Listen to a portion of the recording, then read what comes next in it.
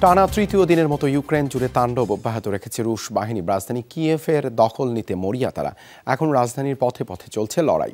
শুক্রবার রাতভর চলে গোলাবর্ষণ এবং ক্ষেপণাস্ত্র হামলা, যার লক্ষ্য ছিল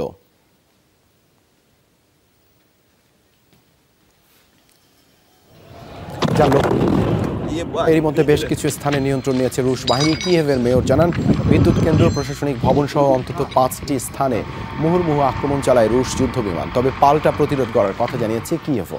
প্রেসিডেন্ট ভলদিমির জেলেন্সকি নিজে রাজপথে নেমে প্রতিরোধ গড়ে তোলার আহ্বান জানিয়েছেন। সেনাদের গুলিতে একটি রুশ আইএল সেভেন্টি সিক্স বিমান ভূপাতিত হয়েছে বলে জানায় ইউক্রেনের প্রতিরক্ষা মন্ত্রণালয়।